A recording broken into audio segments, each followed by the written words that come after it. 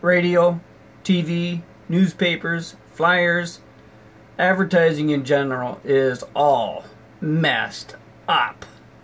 Now, some people think, well, the internet. Well, it's paved with great intentions, but to be honest with you, in 2014 on Cyber Monday, it only reached 2% of the market. Yeah, that's the number. 2%. Not 10, not 15, not 25 or 30, just 2%. You need something better. You need a monumental solution. Now you can advertise in your own community, not the whole world. You don't need to advertise everywhere for most retail businesses.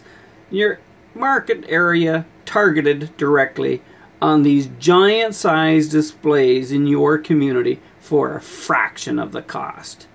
Monumental display. Now we made it easy for you and try investing in it because you can make real good money. We even made it super easy. Check this out. We got our own game. Yeah. Phone us or email us and book an appointment and we will play an electronic board game to teach you how you can make money with monumental display. Thank you. Have a nice day. Bye bye.